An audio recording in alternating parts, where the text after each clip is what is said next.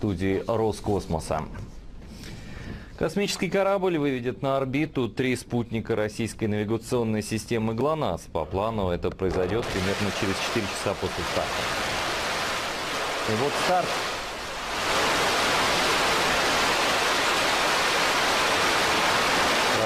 Зрелище. Но что-то, кажется, идет не так. Что-то не так. Кажется, это будет катастрофа. И вот ракета направляется к Земле и распадается в воздухе. И взрыв.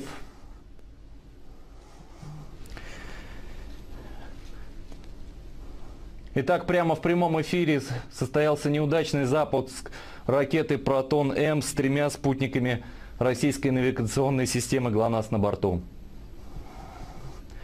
Воздух вываются клубы черного дыма.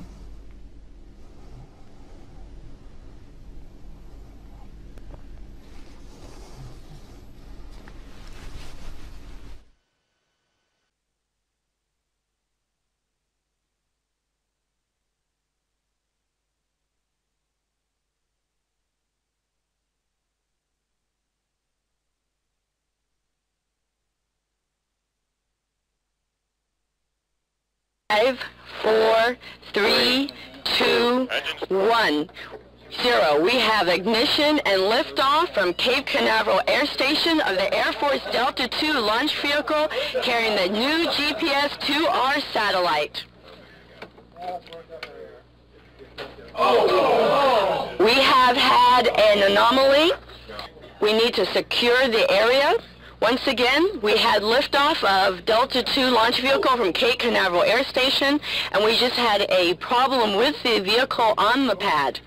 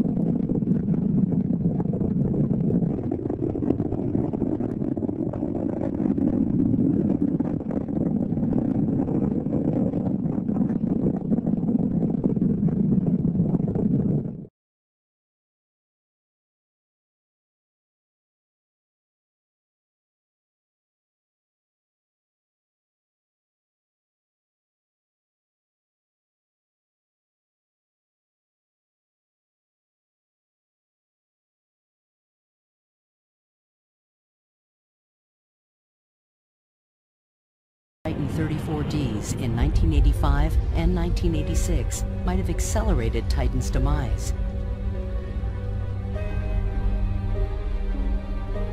But instead, a more catastrophic disaster brought the space program to